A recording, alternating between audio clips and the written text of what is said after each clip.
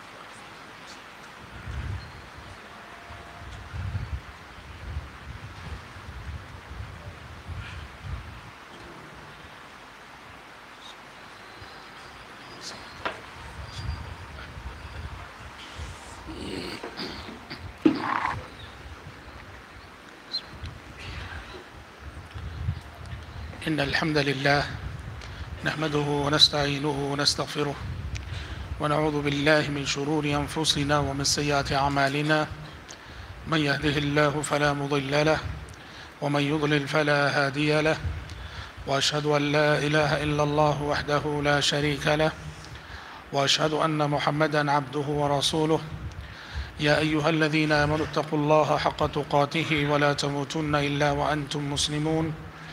يا أيها الناس اتقوا ربكم الذي خلقكم من نفس واحدة وخلق منها زوجها وبث منهما رجالا كثيرا ونساء. واتقوا الله الذي تساءلون به والأرحام. إن الله كان عليكم رقيبا. يا أيها الذين آمنوا اتقوا الله وقولوا قولا سديدا. يصلح لكم أعمالكم ويغفر لكم ذنوبكم. ومن يطع الله ورسوله فقد فاز فوزا عظيما. أما بعد فإن خير الحديث كتاب الله وخير الهدي هدي محمد صلى الله عليه وسلم وشر الأمور محدثاتها وكل محدثة بدعة وكل بدعة ضلالة وكل ضلالة في النار. أعوذ بالله السميع العليم من الشيطان الرجيم من همزه ونفخه ونفسه. يا أيها الذين آمنوا اتقوا الله وكونوا مع الصادقين. حضرات، ابھی خطبہ مسنونہ کے بعد میں نے آپ کے روبرو صورت التوبہ کی ایک آیت تلاوت کی ہے۔ اللہ تبارک و تعالیٰ نے اس آیت میں اہل ایمان سے مخاطب ہو کر ایک بات کا حکم دیا ہے۔ چنانچہ اللہ تعالیٰ نے کہا کہ اے اے ایمان والو، اللہ سے ڈرو اور سچے لوگوں کے ساتھ ہو جاؤ۔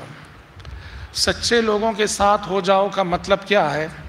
یہ آیت جس سبب سے نازل ہوئی اور جس سیاق میں نازل ہوئی، اس کو سامنے رکھتے ہیں تو سمجھ میں آتا ہے۔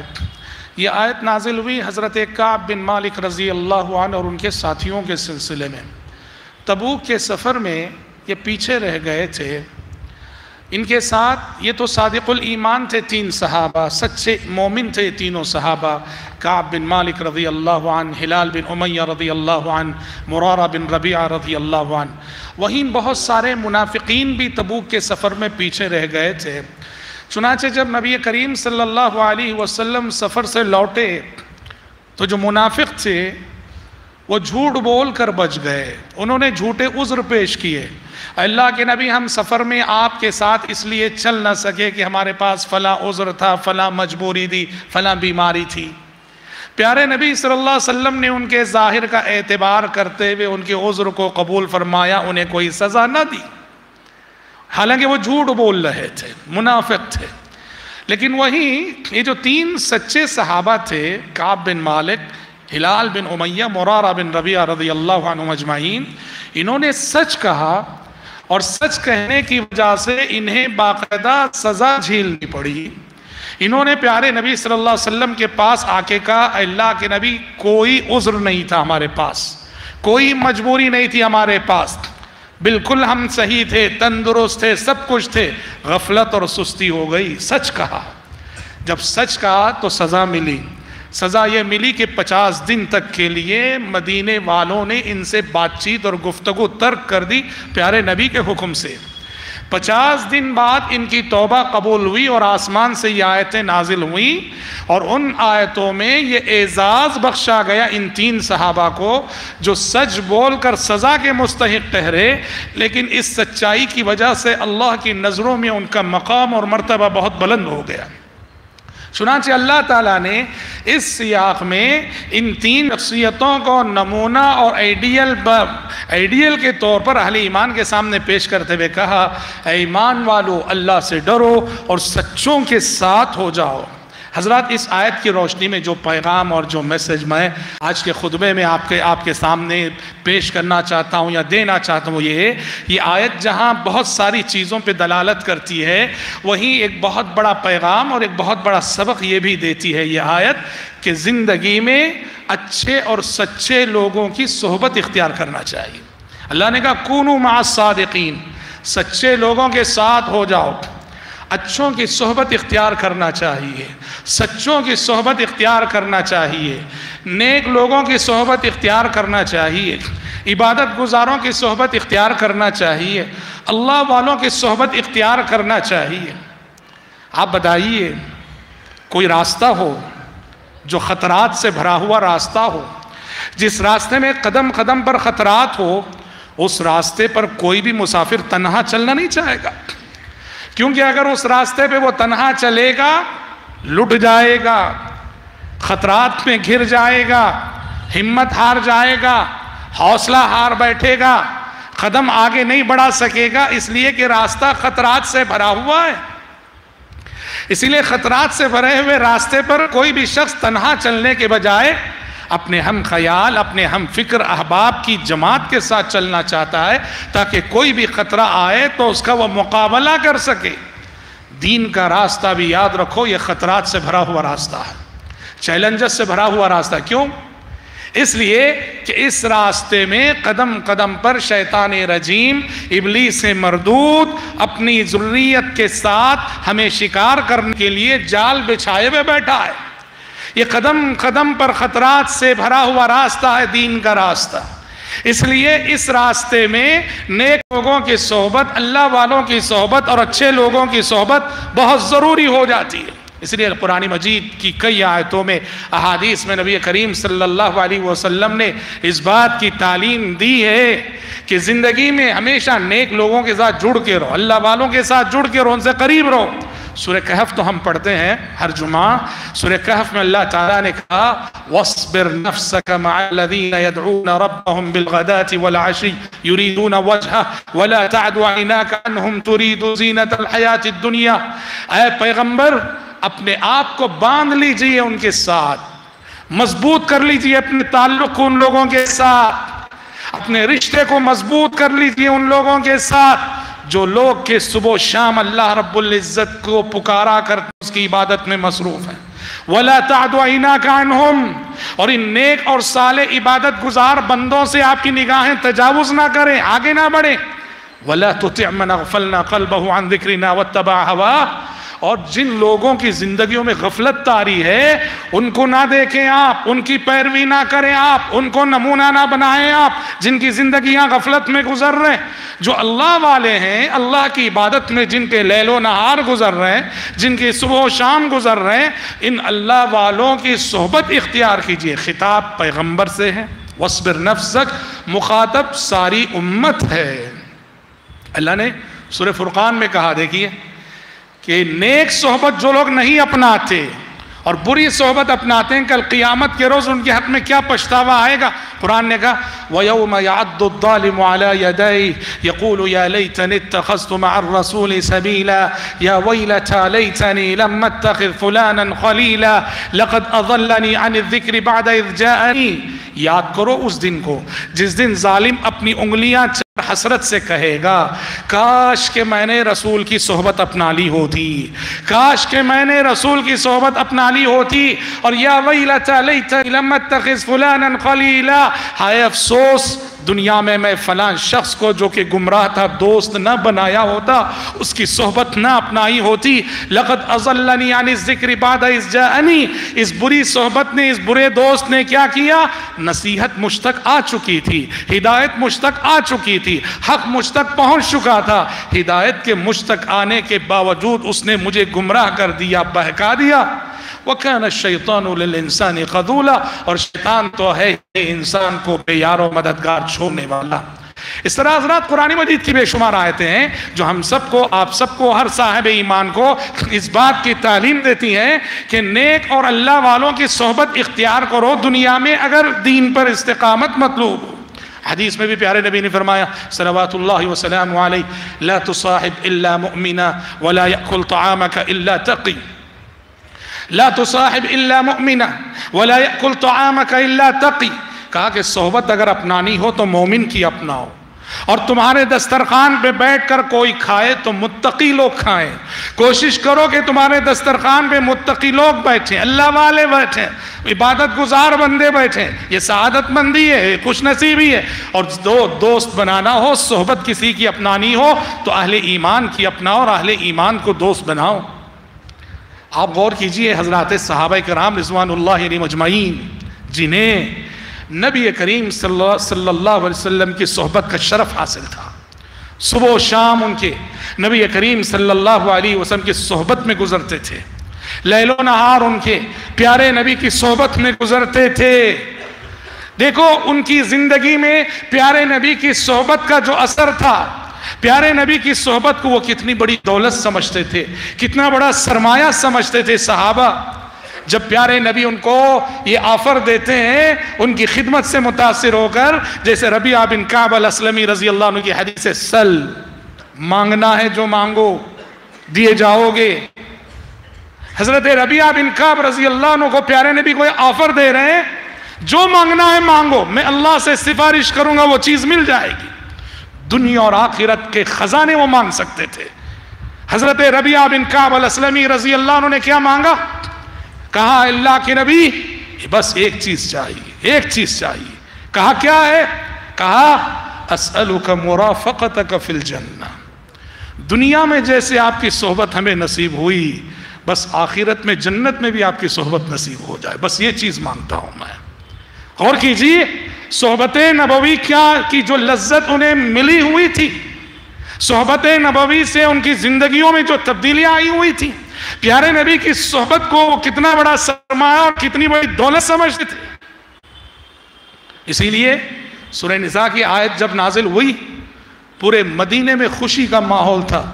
اور صحابہ کرام رضوان اللہ علی مجمعین کو اس دن اتنی خوشی ہوئی، اتنی خوشی ہوئی جب یہ آیت نازل ہوئی جو آیت اہل ایمان کو، پیارے نبی کی صحبت کا کی بشارت دیتے ہوئے ومن يطع الله والرسول فأولئك مع الذين أنعم الله عليهم من النبيين والصديقين والشهداء والصالحين وحسن أولئك رفيقا. یہ آیت جب نازل ہوئی، جو کوئی اللہ کی اطاعت کرے، رسول اللہ صلی اللہ علیہ وسلم کی اطاعت کرے، وہ کل کس کے ساتھ ہوگا؟ انبیاء کے ساتھ ہوگا، صدیقین کے ساتھ ہوگا، شہداء کے ساتھ ہوگا، صالحین کے ساتھ ہوگا۔ وحسن أولئك رفيقا. ان سے اچھے دوست آخر کون ہو سکتے ہیں؟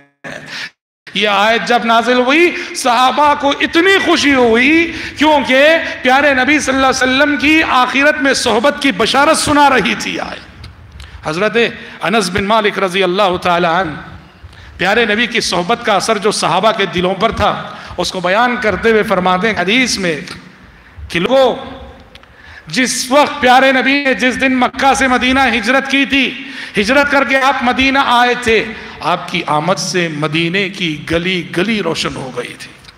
آپ کی آمد سے مدینے کی گلی گلی روشن ہو گئی تھی۔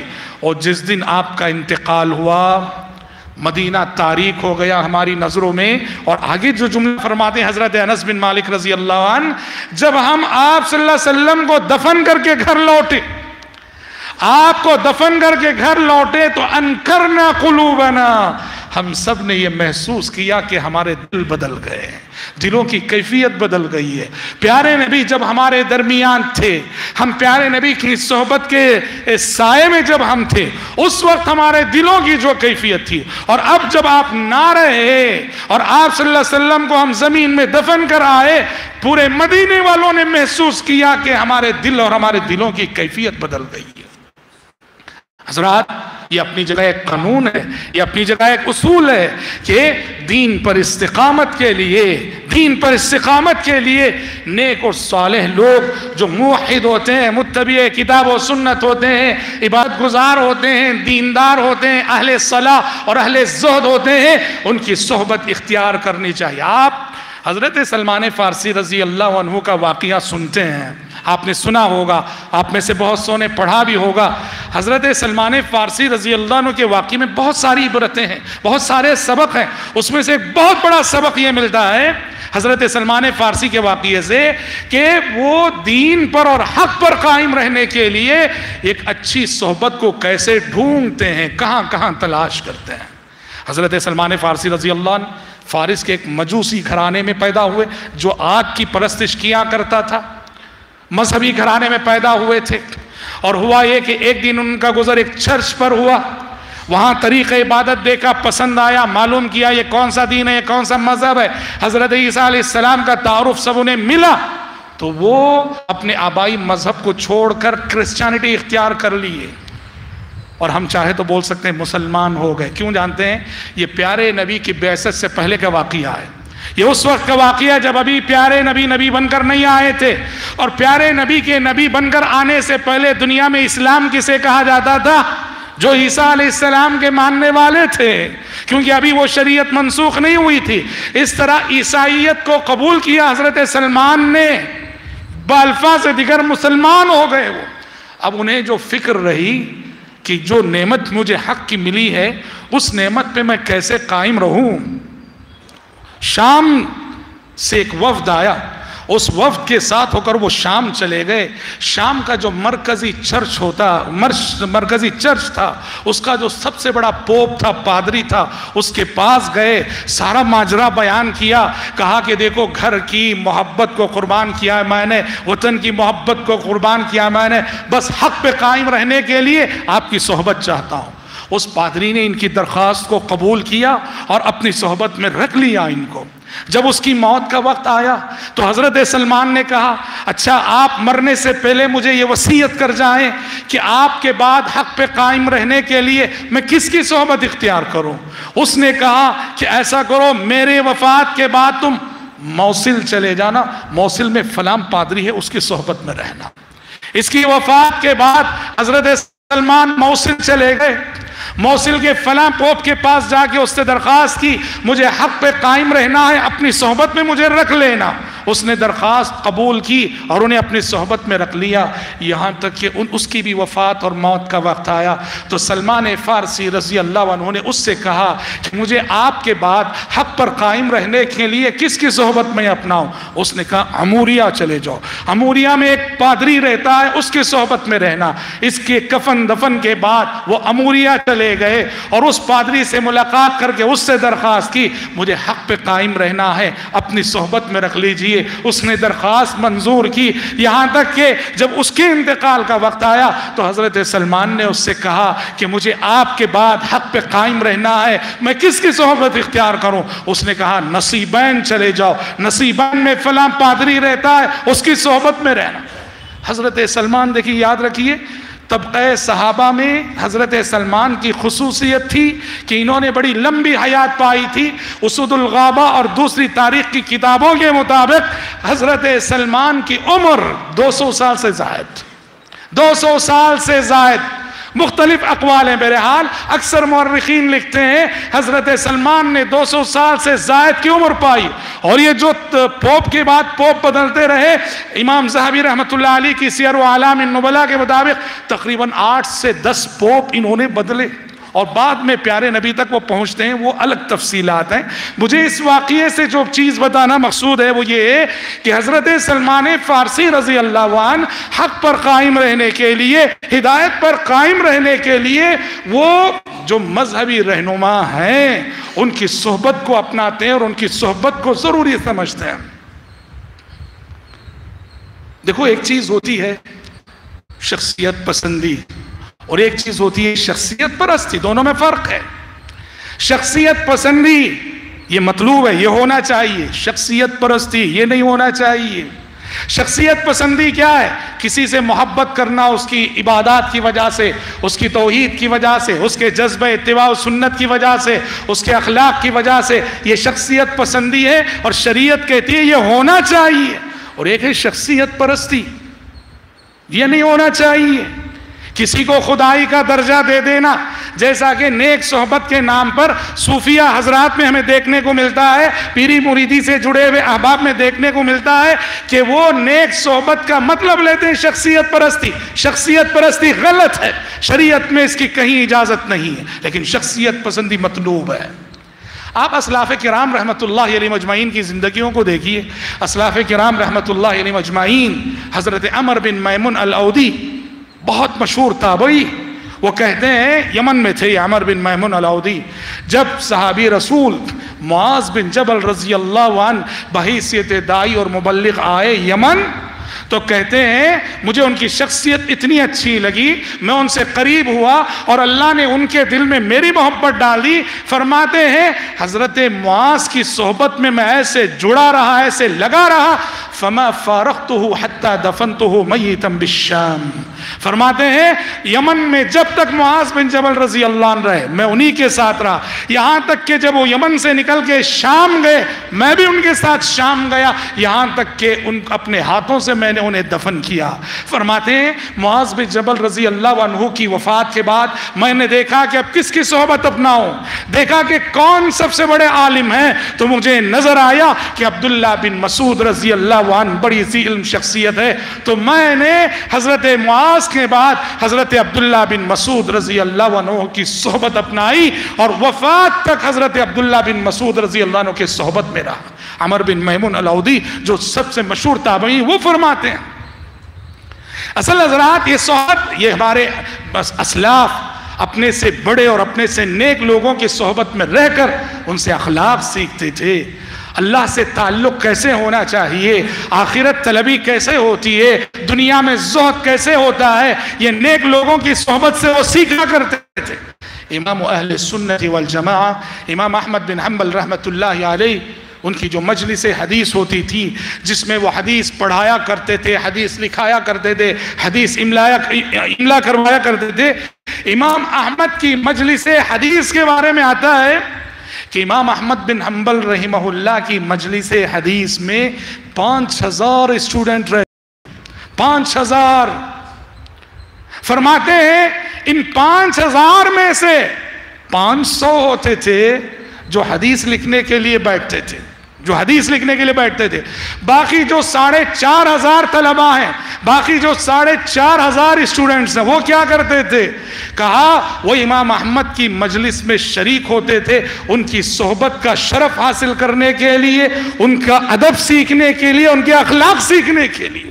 یہ ہمارے اسلاف ہیں۔ رحمت اللہ علیہ مجمعین۔ وہ دعائیں کرتے تھے۔ اللہ سے دعائیں کرتے تھے۔ اے اللہ، مجھے نیک صحبت نصیب کر دے۔ اچھا ساتھی نصیب کرتے تھے۔ مانگتے تھے وہ۔ حضرت علقمہ فرماتے ہیں، میں شام گیا۔ شام میں جب داخل ہوا، میں نے اللہ سے دعا کی۔ اللہم یسر لی جلیسا صالحا۔ اللہم یسر لی جلیسا صالحا۔ اے اللہ، مجھے اچھا ساتھی نصیب کر دے، اس سرزمین شام میں اچھا دوست نصیب کر دے۔ فرماتے ہیں، اس دعا کی بدولت سرزمین شام میں صحابی رسول حضرت ابو الدردہ رضی اللہ عنہ کی صحبت کا شرف مجھے ملا۔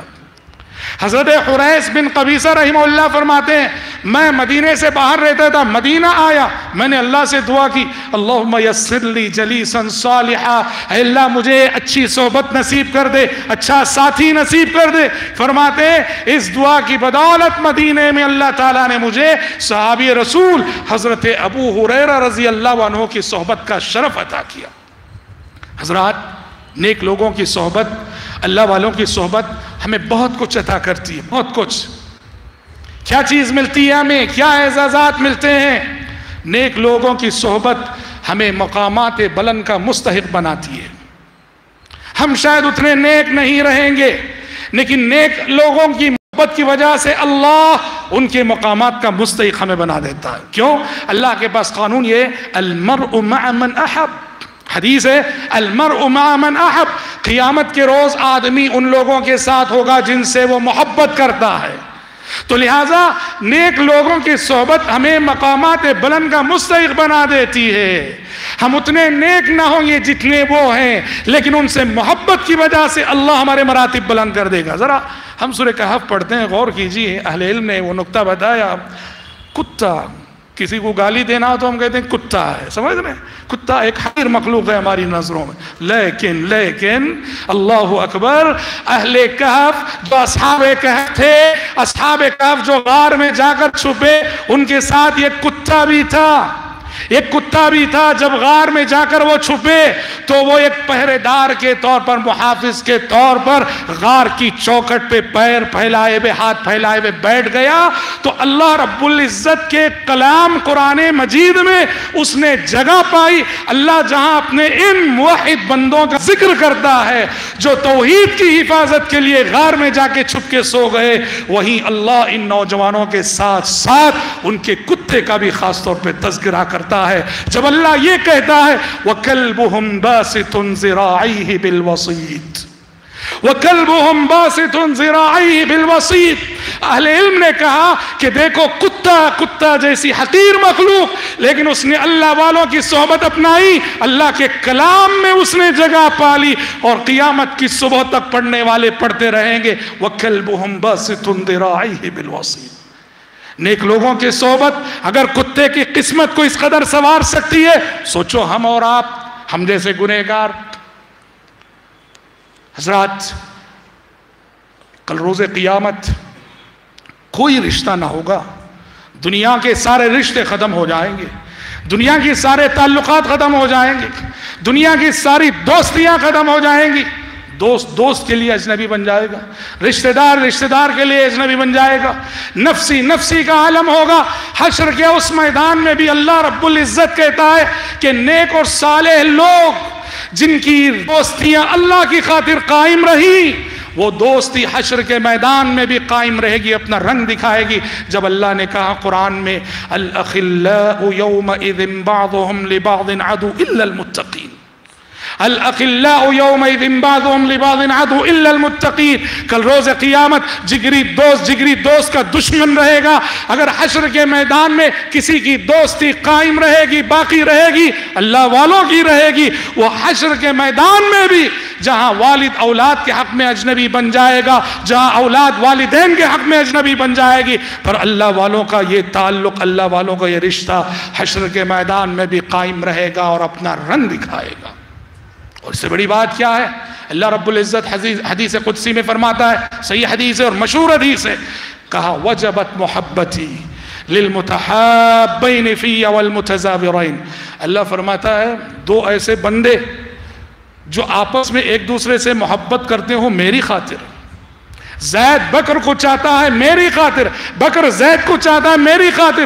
جن کی آپسی دوستی کا دار و مدار میں ہوں، اللہ کہتا ہے جو میری وجہ سے ایک دوسرے سے محبت کرتے ہوں، جو میری خاطر ایک دوسرے سے تعلق رکھتے ہو جو میری خاطر ایک دوسرے سے رشتے کو نبھاتے ہو ان بندوں کے حق میں یہ میں بشارت سناتا ہوں کہ وجبت محبت ہی ان کے حق میں میری محبت واجب ہو گئی۔ بشارت اللہ کی جانب سے ان کے حق میں میری محبت واجب ہو گئی۔ اور حشر کے میدان میں جب سورج سروں پر ہوگا، مخلوق پسینے میں ڈوبی ہوئی ہوگی۔ اس وقت بھی پیارے نبی فرماتے ہیں کہ جن لوگوں کو اللہ تبارک و تعالیٰ کے عرش کا خصوصی سایہ نصیب ہوگا، فرمایا، رجلان تحاب فی اللہ دو ایسے افراد، دو ایسے مسلمان، دو ایسے موحد، دو ایسے مومن، جنہوں نے آپس میں ایک دوسرے سے محبت کی صرف اللہ کی خاطر۔ صالحیت کی خاطر، تقوی کی خاطر، نیکی کی خاطر، وہ بھی کل اللہ تبارک و تعالیٰ کے عرش کے سائے میں ہوں گے۔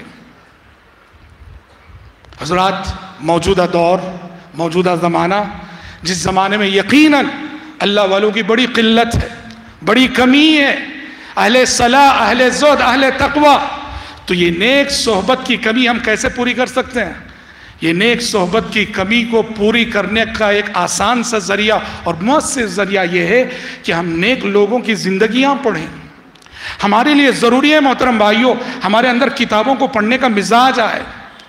یہ انٹرنیٹ کی وجہ سے، موبائل کی وجہ سے، کتابوں کے پڑھنے کا مزاج رخصت ہوا جا رہا۔ کتابوں کے پڑھنے کا مزاج، مطالعے کا مزاج ہونا چاہیے۔ اور ہم میں سے ہر شخص کے لیے ضروری ہے، سب سے پہلے نبی کریم صلی اللہ علیہ وسلم کی سیرت کا ذاتی طور پر ہم خود مطالعہ کریں۔ ہم خود پڑھیں، پیارے نبی کی لائف ہسٹری۔ پھر خلفۂ راشدین کی زندگیوں کو پڑھیں، صحابہ صحابیات کی زندگیوں کو پڑھیں، تابعین اور طب تابعین کی زندگیوں کو پڑھیں، اللہ والوں کی زندگیوں کو پڑھیں، یہ زندگیوں کو مطالعہ جب ہم کریں گے، ہمیں یوں محسوس ہوگا کہ جیسے ہم ان کے ساتھ جی رہے ہیں۔ عبداللہ بن مبارک رحمۃ اللہ علیہ، دوسری صدی ہجری کے بہت بڑے محدث، حدیث رسول کے بہت بڑے خادم۔ نماز پڑھتے تھے اور نماز پڑھ کے فوراً گھر چلے جاتے تھے۔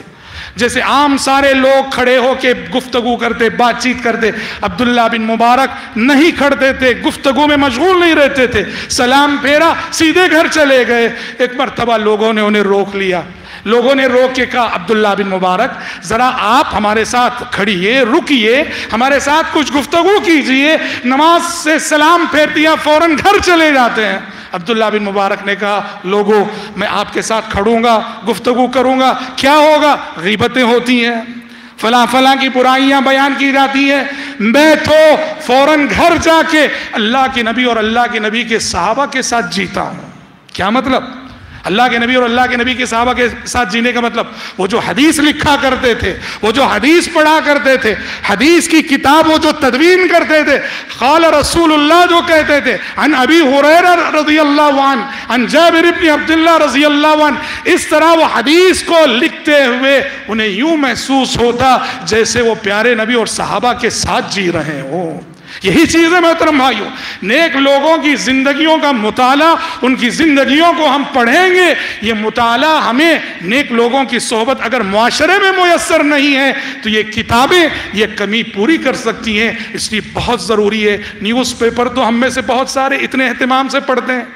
بعض لوگ تو اتنے اہتمام سے پڑھتے ہیں کہ پڑھنے کا لفظ بھی ان کے لیے چھوٹا ہے۔ نیوز پیپر کو چاٹ لیتے ہیں بعض لوگ۔ نیوز پیپر پڑھنے کا اتنا رجحان اور اللہ والوں کی نیک لوگوں کی زندگیوں کو پڑھنے کی توفیق ہمیں نہیں ہوتی۔ آج دنیا کی تمام زندہ زبانوں میں پیارے نبی کی لائف ہسٹری، صحابہ کی لائف ہسٹری موجود ہے۔ ہمیں پڑھنا چاہیے۔ یہ چیز ہمیں ہمارے دلوں میں ان کی محبت پیدا کرے گی اور نیکی زہد تقوی اور اخلاق و آداب میں وہ جس مقام پہ فائز تھے وہ وہ چیزیں ہم سب کو سیکھنے کو ملیں گی۔ دعا ہے رب العزت سے اللہ تبارک و تعالیٰ مجھ کہنے والے کو اور آپ سبھی سننے والوں کو زندگی میں نیک لوگوں کی صحبت اپنانے کی توفیق عطا فرمائے۔ اللہم آمین۔ حضرات، الحمدللہ، ماہ رمضان بہت قریب ہے۔ انشاءاللہ آنے والے جمعے سے قبل ہم ماہ رمضان کو قبول فرمائے اللهم آمين بارك الله بارك الله لنا ولكم في القرآن العظيم ونفعنا وإياكم بما فيه من الآيات والذكر الحكيم إنه تعالى جواد كريم ملك بر رؤوف رحيم رب حليم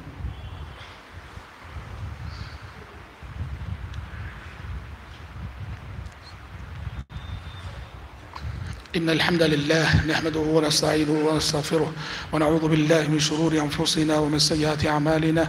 من يهده الله فلا مضل له ومن يضلل فلا هادي له. وأشهد أن لا إله إلا الله وحده لا شريك له. وأشهد أن محمد عبده ورسوله. أما بعد فإن خير الحديث كتاب الله وخير الهدي هدي محمد صلى الله عليه وسلم وشر الأمور محدثاتها وكل محدثة بدعة وكل بدعة ضلالة وكل ضلالة في النار. أعوذ بالله السميع العليم من الشيطان الرجيم. إن الله وملائكته يصلون على النبي.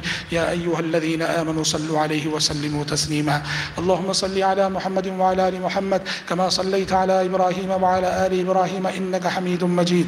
اللهم بارك على محمد وعلى آل محمد كما باركت على إبراهيم وعلى آل إبراهيم إنك حميد مجيد. وصل على جميع الأنبياء والمرسلين والملائكة المقربين والخلفاء الراشدين.